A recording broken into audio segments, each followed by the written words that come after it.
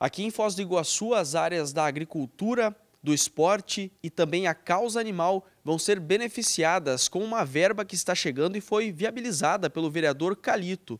Vereador, como que o senhor conseguiu esses benefícios aqui para o nosso município? Bom, esse é um programa do Estado, né? trata-se do Paraná Mais Cidades 2023. E para a gente ter acesso a esses recursos, né, a gente precisa conversar primeiro com o deputado né, da Alep, onde a partir de uma conversa prévia com os colegas do Executivo, né, nós pudemos levantar essas necessidades.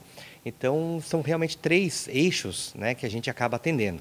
A Secretaria de Agricultura, através de um veículo, preferencialmente elétrico, a questão da causa animal, né, da saúde e bem-estar animal através de castrações e também o esporte. Né, a gente conseguiu 25 mil reais para kits de judô jiu-jitsu, especialmente para as crianças menores, né, para esse primeiro atendimento. Então, na verdade, a gente agradece ao deputado estadual Goura por ter nos escutado, né, por ter nos recebido e por levar essa demanda aí até o governo do estado. Então, quem ganha é a sociedade, ganha Foz do Iguaçu, ganha a população como um todo. Câmara de Foz, a Câmara de todos nós.